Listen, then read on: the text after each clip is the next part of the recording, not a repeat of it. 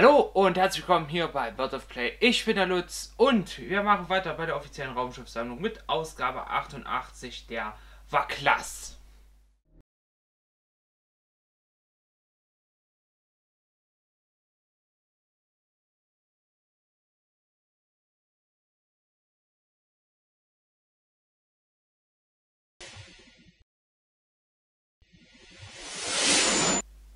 Da sehen wir also die Waklas oder Waklas, entschuldigt bitte, jetzt klappen wir das mal auf. Und ich war eben sehr überrascht, Höchstgeschwindigkeit Warp 4, das Ding tuckelt ja nur so durch die Gegend, bin ich sehr, sehr überrascht, weil ich dachte immer Vulkanier-Schiffe schaffen Warp 6, Warp 7.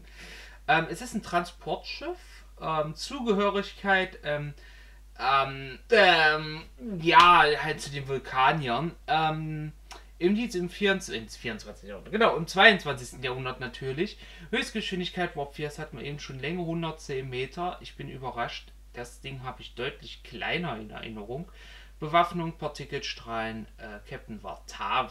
Okay, wir haben hier einen, einen Captain genannt. Ist ja interessant. Ähm, die war Class war ein ziviles Transportschiff von Vulkaniern, die ihre eigenen Gefühle nicht unterdrücken wollten. Aha. Ach, ja, klar. Hm. Ja. Nein. Wo stammt das her? Das ist wahrscheinlich die Folge, wo Paul ähm, gezwungen worden ist, an dieser Gedankenverschmelzung dran teilzunehmen, richtig? Ich glaube ja. Da ist das Schiff das allererste Mal aufgetaucht. Okay. Kaum Erinnerung an die Folge. Das ist wahrscheinlich erste, zweite Staffel und erste, zweite Staffel von Enterprise umgehe ich gerne. Ja, hier sehen wir das Schiff, das Schiff schon an der Enterprise angedockt. Hier die Innenräume, ja, ja, der, der, ist der Typ, der dann da verschmolzen hat. Ja, ja, ja, ja. Das Set hier sieht sehr, sehr Ferengi-mäßig aus. Da haben sie bestimmt irgendein altes Ferengi-Set wieder verwendet. Mhm. Ja, Surak darf natürlich auch nicht gehen. Oder was auch immer das für eine Statue ist. Ja, hier, hier. So habe ich das Schiff nämlich in Erinnerung. Ähm, das hier ist bestimmt aus einer der zahlreichen Schlachten zu, zum Schluss von Enterprise, wo die Enterprise dann die Vulkanier dann, oder so gesagt die Andorianer gegen die Vulkanier unterstützt. Da ist das Schiff. Und so habe ich das halt auch in Erinnerung. Deswegen war mir immer so, dass das bloß so ein kleines Schiff ist, so ein kleines Angriffsschiff ist. Aber es ist doch deutlich größer, als ich dachte. Wo ich hier aber auch wieder sehe, dass es gar nicht so klein ist. Ach, es ist verwirrend. Es ist halt so ein One-Hit-Wonder, würde ich dazu sagen wollen. Aufbau des Schiffes. Impulsantrieb in Ordnung, Warpspulen in Ordnung, Partikelstrahlemitter ist das ganz hundertprozentig nicht, weil das ist hundertprozentig der äh, Deflektor. Ähm, Sensoreneinheit, ähm, Warp-Antrieb, okay, Vorderer, irgendwas Sensor verlangsen, mhm, okay. Warp-Pylon. Nein, das ist hier eine ganze Warp-Gondel, liebes Heft, und nicht eine Warp-Pylone. Da sind die Pylonen. Das, da ist die Gondel. okay. Das Design der war klasse. Ähm, beim Design des vom Drehbuch geforderten klein angeschlagenen Schiffes unterstützt das Visual Effects Team das Art Department. Also hier steht noch nicht direkt, wer es designt hat, aber ui, das sieht, sieht aber schon fast organisch aus. Könnte fast ein Nakultschiff da oben sein. Hier haben wir eine Sorak-Klasse. Die ist noch von Doug Drexler entwickelt worden. Das weiß ich, das ist müde. Äh, Vulkanier im 22. Jahrhundert. Star Trek Enterprise brachte uns die Vulkanier näher und zeigte, wie sie ihre wie sie ihr Misstrauen überwanden und vertrauensvolle Verbündete wurden. Ja, okay, ja, stimmt tatsächlich. die Enterprise neben noch Sorak. Ja, die Soraks, die sind schon ziemlich, ziemlich, ziemlich gigantisch aber noch nicht so gigantisch wie eine De Cure. Ich muss ehrlich sagen, ich mag die De Cure etwas mehr als die Surak. Ja, ich war schon immer ein Fan der. Ach, zum Thema. Da haben wir die Szene. Paul, die gezwungen wird, an Gedankenverschmelzung äh, teilzunehmen. Pyjam haben wir dann darunter. Vulkan. Boah.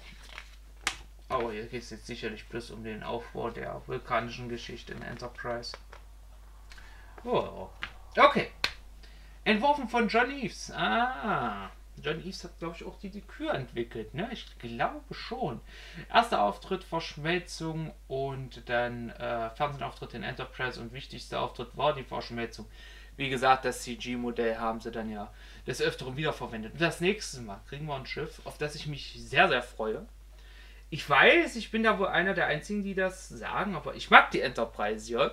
Äh, Ausgabe 89 ist die Enterprise J. Und ich bin mal gespannt. Ähm, Trackyards hatte ja da mit Doug Drexler ein paar interessante Videos über die Enterprise J gemacht. Ich bin mal gespannt auf das Heft. Ja, Enterprise J, freue ich mich drauf. Gut, dann das Vulkanier Transport Dings Schiff hier nochmal von oben und dann sehen wir uns jetzt beim Modell.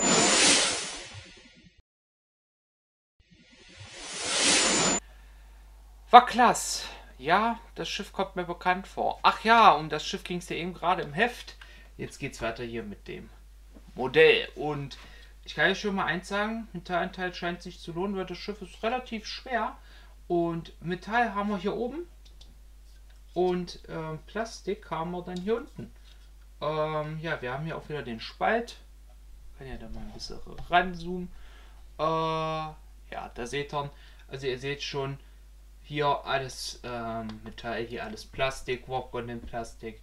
Ja, ähm, Deflektor, äh, halbdurchsichtige gelbe Plastik, so wie es aussieht. Nicht weiß wie im Heft. Und was mir gleich hier vorne auffiel, die Partikelstrahlkanonen hier vorne, haben sie nicht eingezeichnet. Die sind äh, rot. Kein Weiß. Hm. Ein bisschen merkwürdig, was mir eben auch schon auffiel. Hier hinten, der Impulsantrieb ist rot wie die Hülle und nicht so knallig rot, als wäre da der Impulsantrieb an. Hm, hm, hm. Zumindest haben sie es anders als bei der Dekür geschafft, hier den äh, Halbring, nennen wir ihn jetzt mal, blau einzufärben. Immerhin etwas, ne? Immerhin etwas. Aber das sind schon zwei Schwächen, wo ich ehrlich sagen muss, ne, ne. Ähm, wenn ich mich jetzt nicht vergucke, sind die Decals hier ein wenig daneben. Ja, würde ich jetzt auch mal so sagen. Ja, ja, ja, sieht danach aus. Hm. Aber sehr viele Höhendetails. Sehr, sehr interessant aus. Ich finde echt, dass dieses Schiff sehr, sehr organisch aussieht. Das könnte halt wirklich ein Nakult-Schiff aus äh, Store sein. Sehr, sehr interessantes Schiff. Hm. Passt aber auch irgendwie wieder zu den anderen vulkanischen Schiffen, die wir gesehen haben. Aber trotzdem ist es anders. Ah. Da haben wir nochmal solche weißen Decals auf diesen Höhendetails hier. Die sind besser gesetzt, aber auch nicht ganz da, wo sie sein sollten, so wie es aussieht. Hm. Ja, aber ich muss echt sagen, das Schiff als solches ist schon schön detailliert. Wir haben hier so ein Rostrot, möchte ich das mal nennen, als Höhenfarbe und ähm, interessantes Weathering. Also ich würde mal schätzen, Okay, das sieht jetzt hier sogar ein bisschen blutig aus, wenn ich ehrlich bin. ähm, ich würde aber schätzen, das sind ähm, die Cards, die man hier aufgebracht hat als Weathering. Das ist nicht Weathering direkt. Auch sieht, das sieht gruselig aus hier unten, das Schiff. Das haben wir aber hier überall verteilt. Hier vorne auch. An dieser Spitze. Da haben wir auch nochmal so ein komisch blutiges Weathering. hier ist sicherlich die Brücke okay, das sieht sehr interessant aus. Es sieht aus, als würde da oben eine Lebensform drauf geparkt haben. Oder es könnte die Brücke ein extra Schiff sein, irgendwie ein extra Shuttle oder sowas. Interessant, genauso wie das hier vorne, dieser Ring. Interessant. Aber auch das sieht wieder sehr, sehr organisch aus, sehr, sehr ähm, lebendig. Auch hier könnte ich mir wieder vorstellen, dass sich da ein Tier drauf gebackt hat. vorne ist das Maul, seht ihr das? Interessant, ihr Vulkanier, ihr, was ihr hier so baut. Gut, gucken wir uns das Schiff nochmal ganz kurz von hinten an. Wie gesagt, sie haben es geschafft, das hier blau einzufärben, anders als bei der Dekür. Hm, hier sieht es aber so aus, als würde was fehlen. Ja, ich finde es halt echt schade, dass der wo, wo, äh, Impulsantrieb nicht rot eingezeichnet ist, dass der Höhenrot ist. Ja, ähm, wartet mal, ich zoome mal ganz kurz ein Stückchen raus. Ja, jetzt kann man das besser sehen hier. Von unten. Interessante Ausstiege hier. Stimmt, um Antimaterie abzulassen. Einmal von links das Schiff. Ja, es sieht, es sieht aus wie ein Boot. Seien wir mal ehrlich. Ich könnte mir vorstellen, dass das auch im Wasser schwimmen könnte. links ähm, von oben. Oh! Sind das Rettungskapseln? Das könnte natürlich auch sein. Und nochmal von vorne. Hm. Na gut, okay. Das letzte Mal beim. Äh, was hatten wir beim letzten Mal eigentlich für ein Schiff? Lass mich ganz kurz nachdenken. Beim letzten Mal hatten wir. Oh Mann, das ist schon wieder vergessen hat. Das Gornschiff und. Äh, ich weiß es nicht. Ähm, beim letzten Mal war auf jeden Fall der Ständer nicht schlecht. Ach, richtig, die Eon. Die Eon hatten wir das letzte Mal. Jetzt fällt es mir wieder ein. Ähm, wie hält sich hier der Ständer? Im Übrigen, ähm, die Greifer sitzen sehr gut im Sockel. Sehr, sehr fest, aber auch nicht zu weit oben oder irgendwas. Das sitzt wirklich perfekt und das Schiff sitzt auch sehr, sehr gut im Ständer selbst. Ja, Ständer ist gut. Mhm, cool, nicht schlecht. Gut, dann kommen wir jetzt zur Vergleichsflotte. Da haben wir unsere Vulkanier-Flotte und das ist ja auch wirklich die richtige vulkanische Flotte, die wir in Enterprise gesehen haben. Es gab ja bloß die drei Schiffe, ne? Ich glaube schon. Ja, cool, nicht schlecht. Hier haben wir also die komplette vulkanische Flotte und macht ganz schön was her eigentlich, auch wenn die War-Klasse jetzt natürlich viel zu groß ist und nicht im Scale. ähm, dennoch muss ich ehrlich sagen, also man sieht hier schon eindeutig, wie John Eves bei der, bei der Decure an die Surak gedacht hat, weil hier vorne diese spitze Nase, sage ich jetzt mal, ja. Ähm, und dann haben wir hier dieses Schiff und es ist doch mehr anders, als ich dachte. Sehr, sehr anders. Ist, wenn ich mir das gerade mal so angucke, das Einzige, was wirklich richtig hundertprozentig vulkanisch ist, ist die Farbe, die Lackierung, Paintjob. Aber eigentlich ist es schon fast mehr klingonisch. Ja, okay, wir haben hier hinten diesen Halbkreis als Warp-Antrieb. Okay, ich spiele mit, aber hier vorne diese Spitzen erinnert mich gerade irgendwie an die Wortschar, wenn ich ehrlich bin. Sehr, sehr interessant. Oh, muss ich ein bisschen revidieren, was ich eben gesagt habe. Ist doch, ist doch anders aber trotzdem irgendwie vulkanisch. Ja, es ist hm, interessantes Schiff, aber wenn, darf, ich, darf ich ehrlich sein, ich finde das jetzt nicht sonderlich schön, das Schiff. du musst dich ehrlich mal so sagen, ich bin jetzt irgendwie kein großer Fan von diesem Schiff. Das ist irgendwie merkwürdig. Es ist vulkanisch, aber auf den zweiten Blick ist es auch irgendwie wieder ein bisschen Suliban, so ein bisschen äh, klingonisch. Wenn ich lang genug drauf gucke, fällt mir wahrscheinlich auch noch irgendeine Delta-Quadrant-Spezies ein. Spezies, toll betont Lutz. ja, ich weiß nicht. Irgendwie, irgendwie, hm. Hm.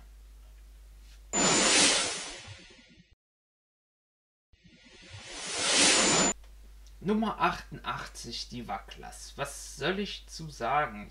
ja, also ich meine, ähm, ich bin mir nicht sicher, wenn ich ehrlich bin. Also das Modell als solches ist jetzt nicht mal so schlecht. Es gibt einige Fehler, die gemacht worden sind, einige Details, die vergessen worden sind. Wir sehen hier vorne gleich auf Anhieb die, ähm, die Fenster, die da nicht ganz passen. Ähm, wir hatten hier halbdurchsichtige gelbe Plastik, obwohl ich mir sagen muss, könnte fast passen, auch wenn der Deflektor hier natürlich weiß ist, aber trotzdem wirkt das auch irgendwie gelb hier am Rand. Ja, ich weiß nicht, vielleicht wollte irgendwas da so mal diesen gelben Rand einfangen als das weiße. Ich meine, bei der Constitution-Klasse haben sie ja zum Beispiel auch bloß einen blauen Deflektor reingeklebt oder bei der Ambassador, wo doch die Mitte eigentlich sehr, sehr weiß war. Ja. Na gut, ähm, die Partikelstrahlen hier vorne, die haben sie ja total weggelassen beispielsweise. Ähm, der Impulsantrieb war gar nicht eingezeichnet, ja. Ja, ich weiß nicht. Ich weiß nicht. Höhendetails sind auf jeden Fall wieder da, sehen gut aus. Der Paintjob gefällt mir sehr, die Decals gefallen mir. Ja, es ist okay, das Schiff. Ich sag mal, es ist okay, das Schiff. Gut, Leute. Das nächste Mal kommen wir aber zu einem Schiff. Da erwarte ich ein bisschen mehr. Und ich habe irgendwie so das Gefühl, dass wir da auch, dass ich da persönlich auch nicht so sehr enttäuscht werde. Und zwar die Enterprise J. Also, bis zum nächsten Mal. Schausen.